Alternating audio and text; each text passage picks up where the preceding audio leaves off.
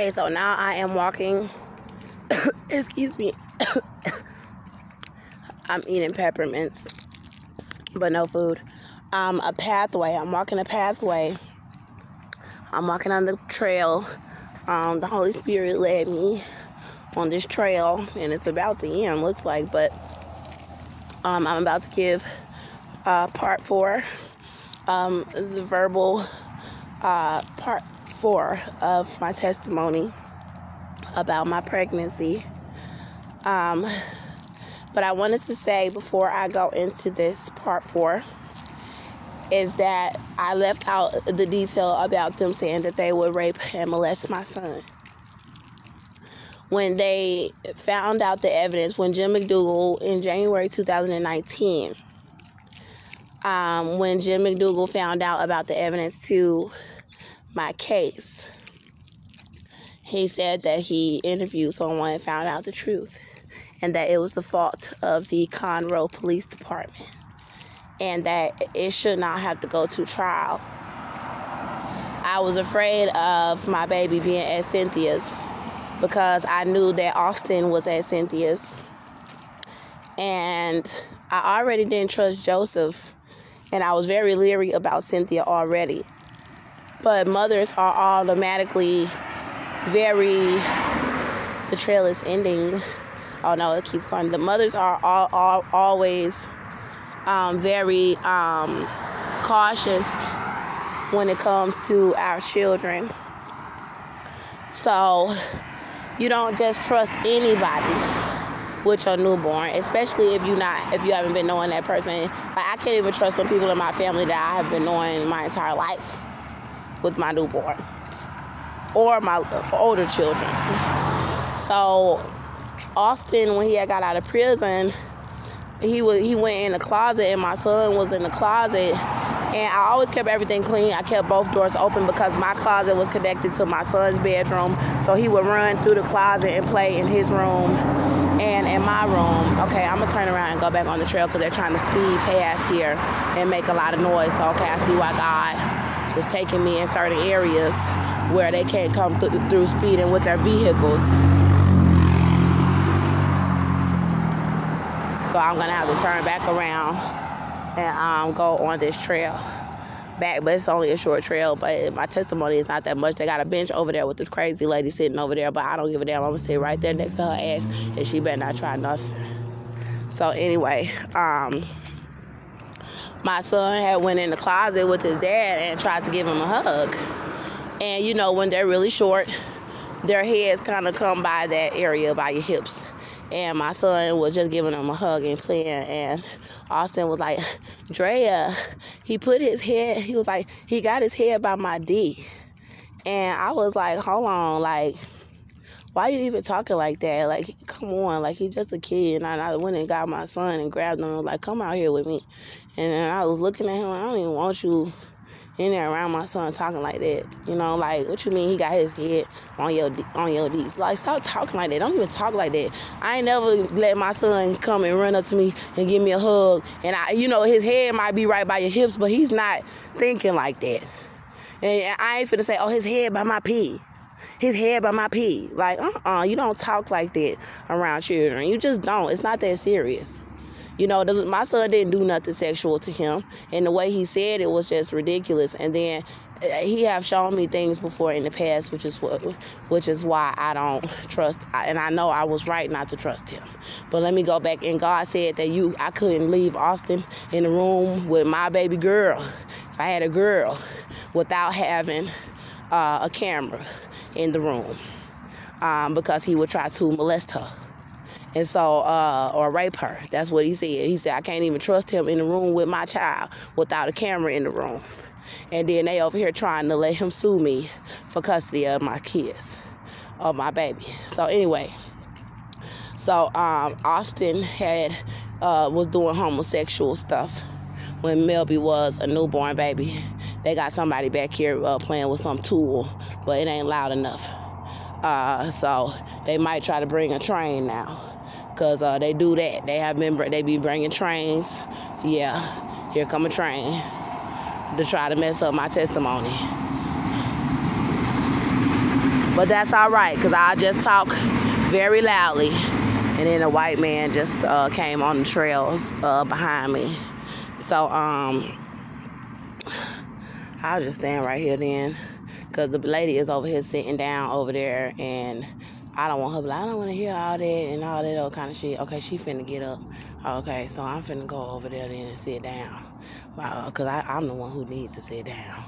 But anyway, so, um, he Austin had took off. He was wearing my underwear when Melby was a newborn. While I was trying, she not finna leave. yet. She finna sit down. I'm finna sit down. There's two benches over there, so I'm finna sit one. He was wearing my underwear, sneaking and wearing my underwear, beating me up in front of my baby boy when he was a newborn, and watching men run around in their drawers.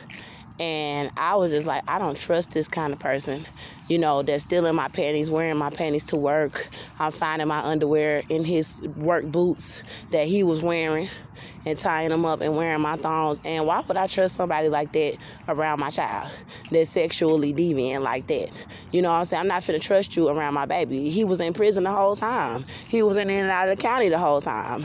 You know, he never, he was not nobody to trust just because I had a baby by him.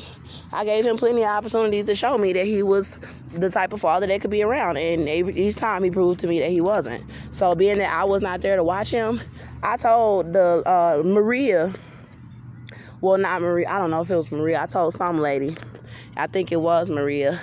Um, I said uh, I wanted to contact CPS because I, I didn't feel that I didn't feel that Austin could be trusted. I felt like he would molest my son, and she contacted CPS, but um, then they started doing the witchcraft visitations on me, all saying that they was gonna molest him because I tried to report that Austin could possibly molest him and that I did not trust Austin around him because of the things, the sexual things that Austin, and Austin tried. Austin was trying to rape me several times, well, multiple times. So why would I want somebody that could not say, would not take no for an answer around me, around my son, and I'm in jail for you attacking him and me.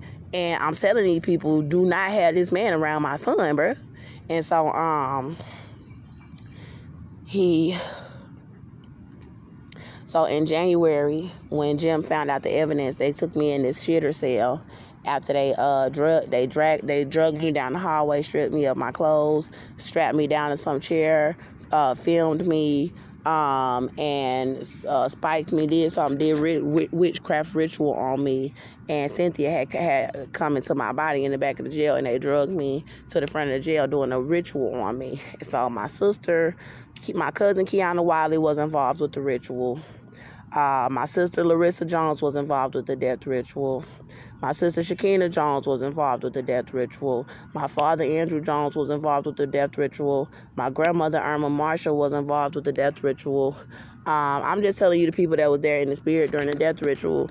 Um, this drug dealer, one drug dealer from I don't know his name, but he he he sold weed um, out there in Cairo. A Big old black guy. Uh, I don't remember his name, but um, I didn't talk to him like that, but he, I knew, I knew who he was. I knew he sold weed or whatever. I don't know what else, but uh, he was involved with trying to do the death ritual on me.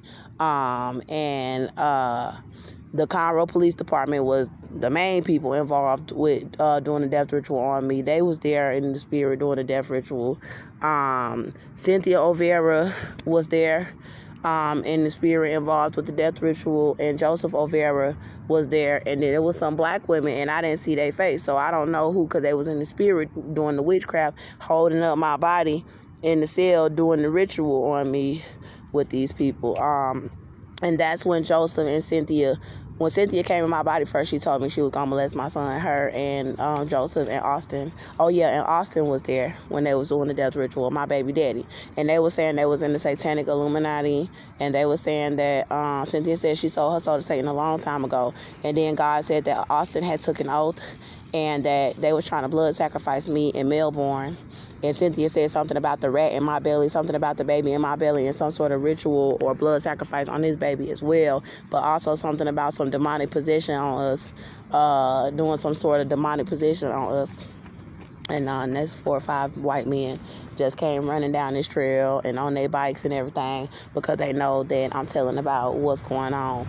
And so, um, basically, uh, Jesus Christ help me, Lord, because they threatened to kill me and my whole family and Cynthia and Joseph if I got out and told instead of just going on with my life after the charges was dropped. But I'm pregnant and they was gonna keep coming after me anyway for this baby, and they did. So that's why I'm coming out and telling the information. So anyway, um, oh Lord help me, because all that intimidation really get on my nerves. Like, um, so anyway, um Austin was there uh, during the death ritual in the spirit. He was there, and God said he took an oath in the Satanic Illuminati, and that he was trying to blood sacrifice. Uh, I guess Bellborn or me, but between him and Cynthia, we was both. God, I think God said that Cynthia was trying to blood sacrifice me, but he said something about they was gonna get killed, that Cynthia and and, and Austin was gonna get killed or something. And so uh, I don't know. They threatened to kill me and my son, and that's when they the Conroe Police Department, everybody, well, the Black Freemasons. Oh, I forgot. Yes, the Black Freemasons was there um, when they was doing the death ritual, um, trying to do the death ritual on me, and they said they worship white people and that this white people country, and that I shot a white person. So uh, they said that I should, I, you know, all that worshiping the white women and stuff. They said all that, and then um, they was there. Basically the black freemasons was there when they was trying to do this death ritual on me and jesus christ came in the cell and he stopped them pretty much. And he that's when he prayed over me and did all of that and he ran them off and everything and he showed who the real god was and they was in there trying to pretend the black freemasons was trying to pretend like they was god and they did some very powerful stuff that actually make you think that they was god until the real god came and his voice was like a million times deeper his power was like amazing. So there they go. Uh, I'm by MARTA, so the short trains. And that same white man that just ran, ran past us a very short path, he's coming back again. ain't waving at me, and I don't want to talk to him. but anyway, so um, the Black Freemasons was uh, there in the spirit while they was doing the death ritual, was trying to do the death ritual on me. And my little sister had said, because all of them got in my body at the same time. Oh, and the inmates in the jail, all the inmates in the jail, and the correctional officers too. So they was all present while uh, they was trying to do the death ritual in the spirit and they had got in my body, you know, with Cynthia in the back of the jail. And my little sister, God had cast them out. And then my little sister had said I, that she she was trying to get in my body to make me kill myself. And um, I remember seeing something about when she stopped answering the phone for me or something. Like I seen the vision of her and then uh, her saying something about, "Oh, we thought you killed him." See, I didn't know Austin had spent three weeks in the hospital. I didn't know that until I went against him in family court, and then I did not know that he still had a bullet in his leg until God told me, and then Austin confirmed what God said because God was like, uh, God was yelling and going off like he was like, "Y'all starving her and that baby. She supposed to been had that baby," and then God was like, that was her apartment. And then God was like, uh, let that bullet in his leg be a reminder to him about abusing women. I guess God feel very strongly about males abusing females. I don't know because it seemed like all of these men on this planet is sitting over here acting like it was okay for Austin to be beating me up. But according to the Lord, he's like, nah, that's very serious because she could have killed him. She could have killed him. You know what I'm saying? Y'all over here lying about it. That's serious. You don't you don't understand how afraid I get when a man come running up on me. My first instinct is to try to kill him, not oh, I'm just gonna try to uh go blow for blow with you. Like I really can't go blow for blow with a man because I can't. And I'm not, oh, I'm, I'm not, I don't want to fight you like that. Now, a female, I'll fight a female quicker than I'll fight a man in defense, but I'll try to kill her too. That I'm just saying. See, and I'm glad that I'm out in nature and not looking at stuff according to their constitution because you go run up on anything that's got the power to kill you and try to hurt it. It might just kill you. It might not. It might hurt you real bad, but it might kill you. So running up on people that you think vulnerable and that you think can't do nothing and running up on women and children, you know, God was the only one who was like, no, I ain't finna stand for that. Now he he abusing women. That's why he got that bullet in his leg Hallelujah. Thank you, Jesus. And I'm going to hold back the tears. I cry to him later because he is a righteous God. You know, he is a mighty God. And that's the truth. God looking down from the throne and said that's why he got that bullet in his leg. Because he been down there hitting on the women. He been down there abusing on the women. And then y'all gonna take me in the damn jail cell and try to kill me. But anyway, let me go back to my testimony. Let me not get too carried away. And so um, then when we went to family court, Austin did confirm, and I'll get into details about how he said it, but he did confirm that he still had the bullet in his leg. And see, that's I didn't know that. So my little sister was saying that I guess she turned on me like she was supposed to pay my bond, and then they just stopped answering. And I had a vision of her saying, "Oh, we thought you killed him," and he spent three three weeks in the hospital. They said so. I guess everybody was hovering over him like, "Oh, Austin," and you know, "Oh, she shot him," and this, this, and that. And the only one that was on my side was God. And they like, murder her, kill her, kill that baby. You know what I'm saying? Starve her and that baby in that jail because she shot Austin. She shot him. That's a uh, red bird. And that's how they were. They was all doing voodoo on me, trying to come and punch the baby in my stomach in the jail. They was coming, the black girls, the black gangs. They was acting like they was shooting at me with guns. They had the voodoo women coming. Uh, they were the black uh, bloods gangs was chasing me and um, trying to shoot me in visions. Uh, they were trying to pop my belly in the jail, trying to crush the baby in the uh, in my belly in the jail. Oh, Jesus, Father God, help me, Lord. So anyway, let me just go back to when they said they was going to molest and rape my son. So when they was doing this ritual and had me in this shooter cell uh, trying to kill me, they was saying before God cast them out, that my red birds. I know I'm Indian. I love my red birds. I love my bluebird, and I pray that I have a whole bunch of them one day in my house like this. I don't know. I know I don't want to keep them in the house because they love to fly. They really do. Uh, but I just want. I just love them. Love those birds. So anyway, so um, basically um. That's when they said they was gonna do the ritual um, on my son and rape him um, with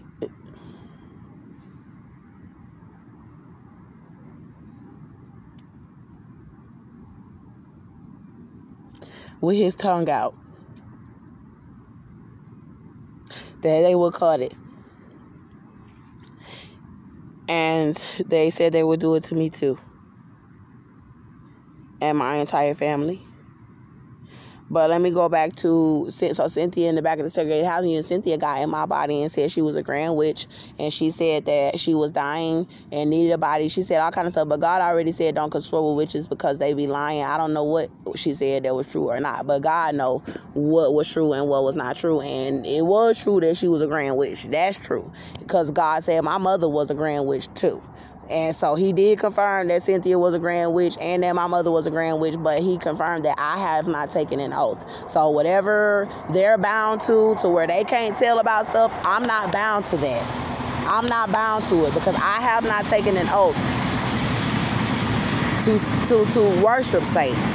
You know what I'm saying? And so um basically um so they got somebody right here trying to watch me as I'm giving my testimony, this person right here.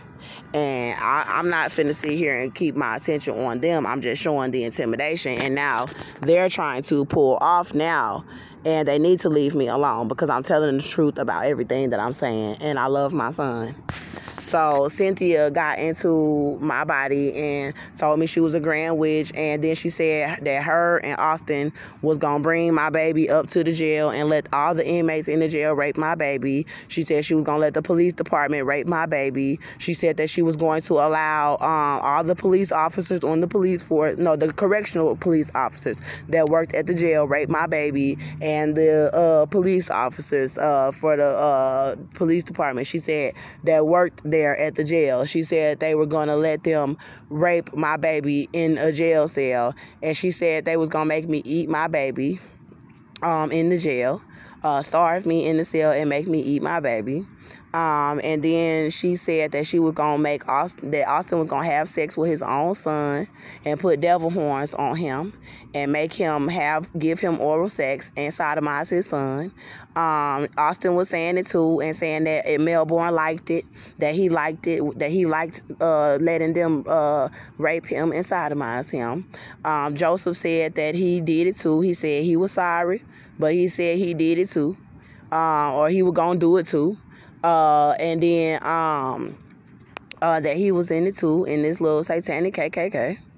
Um, and then uh, God cast them out of the kingdom of heaven, and that's when they uh, all started screaming about this being exposed and about God destroying them or something like that. They threatened to riddle me with bullets and burn me with fire Um, and this my storage is getting full, so I'm gonna have to load this. But I just wanted to go back to that before I